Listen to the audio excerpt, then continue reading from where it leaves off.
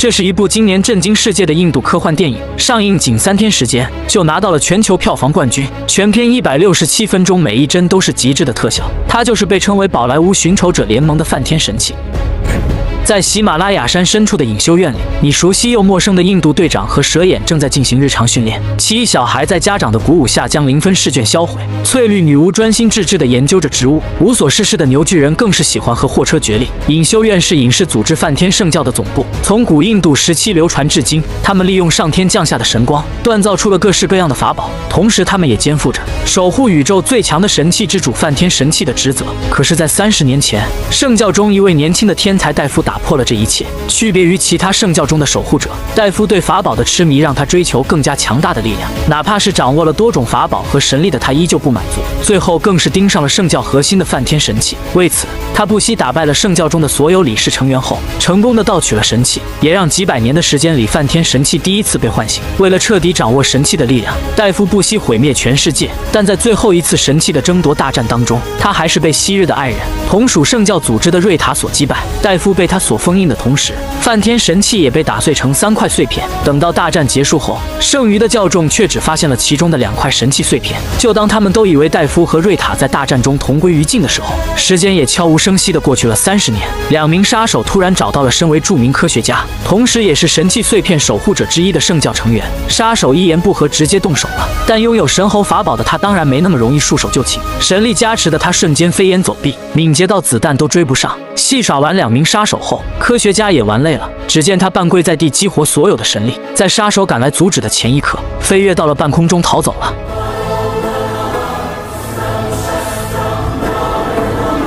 等到两名杀手不甘的离开后，回到家的科学家第一时间检查神器碎片，但真正的危险才刚刚来临。杀手的首领烛龙去而复返，只是一击就控制住了科学家。随后成功拿到了第一块神器碎片后，通过对科学家的心灵控制下，也了解到了第二块神器碎片掌握在一个艺术家的手中。然而此时发生的一切，诡异的投射到另一个完全不相干的人脑海里。此时的阿强还不清楚自己的命运即将被改写。作为印度百大 DJ 的第一百零一人，工作中的阿强无意。中见到了心中的女神阿珍，不知道是见色起意还是一见钟情。阿强发现他只用了一眼就爱上了美丽的阿珍，而见到阿强如此不走寻常路的搭讪方式，阿珍也对阿强产生了好奇。富家乖乖女的她，似乎天生的无法抗拒阿强的非主流气质。随后在阿强的盛情邀请下，阿珍也来到了阿强从小长大的孤儿院。在经过一场显得有点尴尬又有点自然的印度特产歌舞后，他们的感情经过漫长的零点五个小时又再次升华。了解到作为孤儿的阿强从小坚强乐观。长大了，更是担负起整个孤儿院的责任后，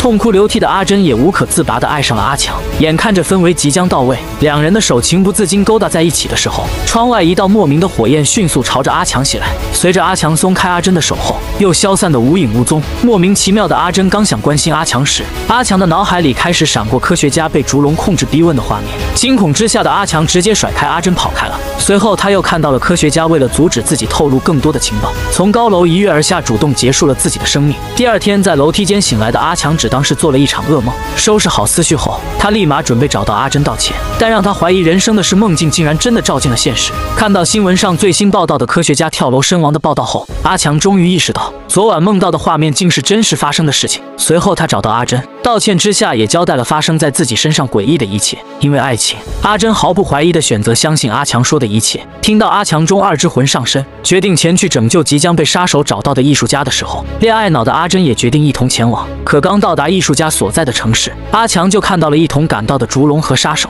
赶在杀手找到艺术家之前，阿强抢先一步告知了艺术家他脑海里看到的一切。楼下等待的阿珍却被杀手发现，赶来救援的阿强被拿到神猴法宝的杀手直接按在地上好一顿摩擦。危机时刻，却是艺术家奋不顾身的挺身而出，子弹直接命中了艺术家的心脏，但倒地的他下一秒就睁开了眼睛。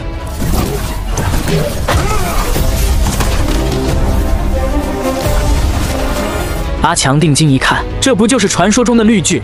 不对，牛巨人。随后看到首领烛龙也赶了过来，艺术家一个旋转跳跃后打通了地面，带着阿强、阿珍直接离开了。路上他告诉阿强，他要尽快的赶到隐修院找到院长咕噜。行驶到半路，阿强脑海里再一次出现了幻觉，这一次他看到了一个神秘的雕像，似乎正在慢慢复苏。同时顺着红色石头的力量，他也发现了身后尾随的烛龙和杀手。眼看无法摆脱追击后，艺术家将神器碎片交给阿珍，他选择完成自己守护的使命，独自留下。下阻拦杀手，抱着必死的决心，艺术家默念着专属咒语，激活了法宝内的所有神力，接着飞快地朝着高速行驶的货车奔去。牵牛之力在身后觉醒，他凭一己之力成功地扛住了卡车的强大冲击。可正当他一鼓作气将卡车推下悬崖时，醒过来的杀手直接开枪了，无数的子弹射进艺术家的体内，最终他还是不甘地倒下了。这悲壮的一幕也同时投射在了阿强的脑海里，似乎是阿强给予了艺术家力量。艺术家身后的神牛虚影再次重现，他一声怒吼，用尽了体内所有的力量，带着这卡车一同坠下了悬崖。可是，一波未平，一波又起，还沉浸在悲痛当中的阿强也被另一个杀手追上。尽管阿珍第一时间将油门踩到底，但还是被神猴法宝加持的杀手追上。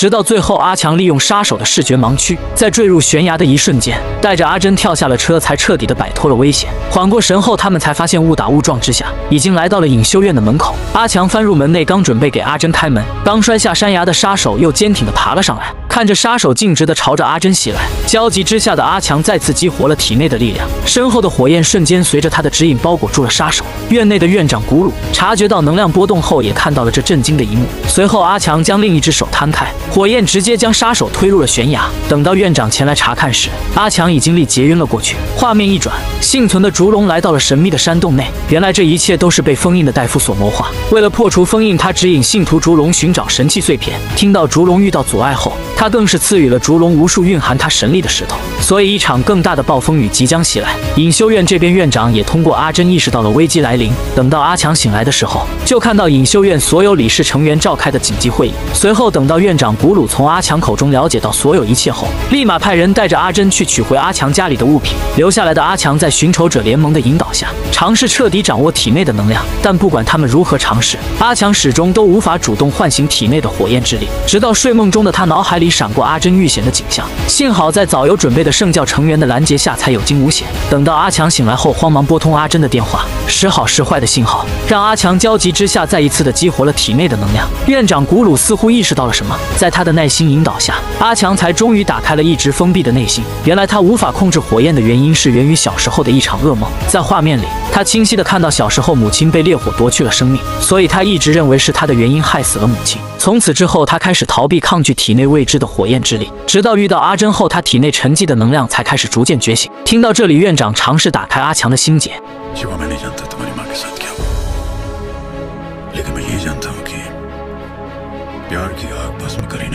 终于，阿强彻底的征服了内心的恐惧。等到他彻底的掌握、熟悉了体内的火焰之力后，院长古鲁也终于告诉了阿强他的身世之谜。古鲁猜测阿强正是戴夫和瑞塔的儿子，因为在见到他用出专属于戴夫的火焰之力时，古鲁才意识到三十年前的大战后，瑞塔的消失是为了将刚出生的孩子抚养长大。烛龙的出现也代表戴夫并没有死，而是最后时刻被瑞塔封印。听到这里的阿强依旧不敢相信，直到阿珍拿回了母亲留给他的唯一遗物，利用血液激活竟是最后一块神器碎片后，阿强才不得不承认这荒诞的一切。此时，院长也开始将整个隐修院转移。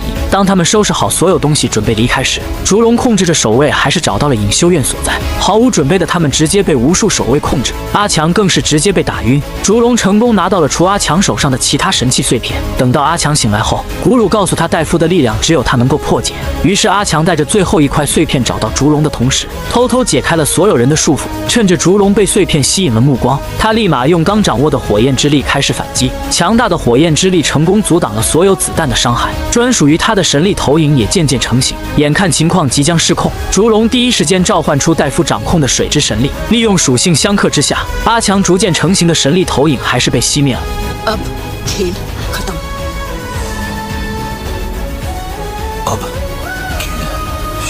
话音刚落，解除束缚的寻仇者联盟终于火力全开了。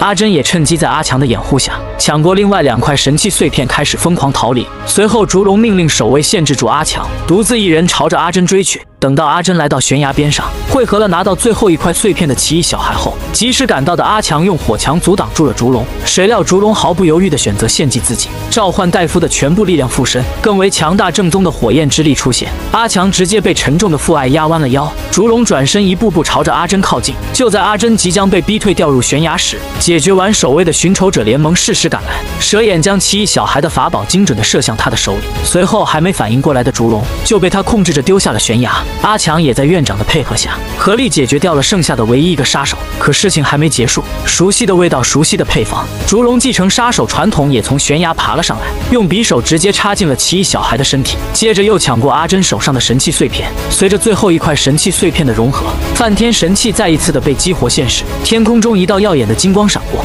一股蕴含着全宇宙的终极力量出现，整个山脉在这股力量的冲刷下濒临破裂。院长意识到世界末日即将到来了，但阿强看着山顶上的阿珍，并没有打算放弃。他奋力的来到山顶后，在焚天之力降世的同一时间，阿强用尽全力拥抱住了阿珍。爱的力量可以战胜一切。在梵天之力扩散的同一时间，阿强体内的火焰之力不受控制的迸发，牢牢的将阿珍保护在胸前。随着阿强的一声怒吼，他成功的用火焰之力拿到了梵天神器。下一秒，毁天灭地的梵天之力彻底被阿强掌控，整个世界一瞬间恢复了平静。这场战役终于彻底的结束了。此时的他们并不清楚，神秘的山洞内被封印的戴夫，凭借着梵天神器扩散的力量，彻底的破除了封印。这意味着新的战役即将到来。